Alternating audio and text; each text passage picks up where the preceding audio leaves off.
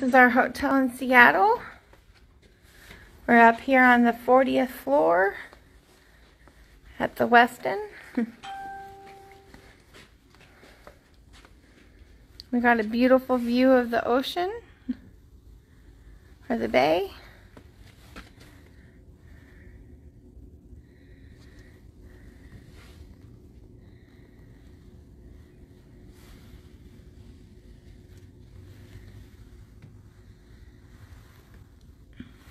You can't really see it in this video, but above that building is the very top of the Space Needle.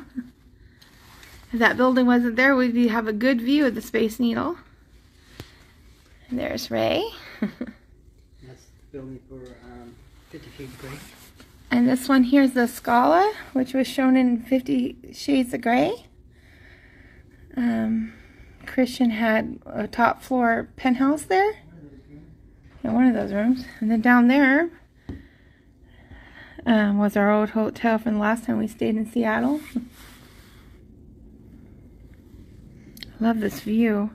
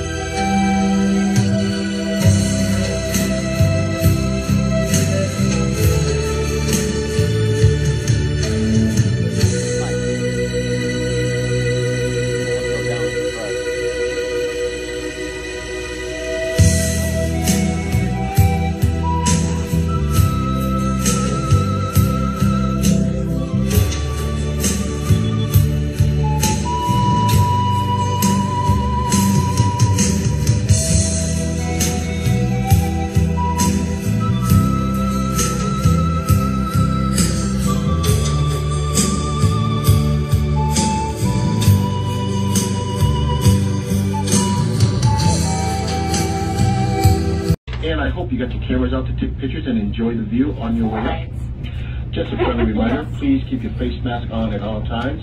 And since we cannot stand six feet apart for social distancing, please no talking on the elevator and please hold all your questions till you get to the top. Thank you. This is one of our slower elevators. This elevator goes up at 5 miles an hour. The other two elevators go up at 10 miles an hour. And once again, we're going up at 5 miles an hour, up to 520 feet in the air. We're going to be doing that in approximately 82 seconds. The building itself is 605 feet tall. Once you get to the top, you'll be looking for the rotating glass floor, the observation deck, and yes, even the restroom. You're going to walk to your right, ask one of our team members, or follow the signs, and they will take you to one of those three destinations. When you're ready to leave, please go back down to the rotating glass floor. There'll be two exiting elevators waiting for you there. And once again, folks, please keep your face mask on at all times and have a great, great time.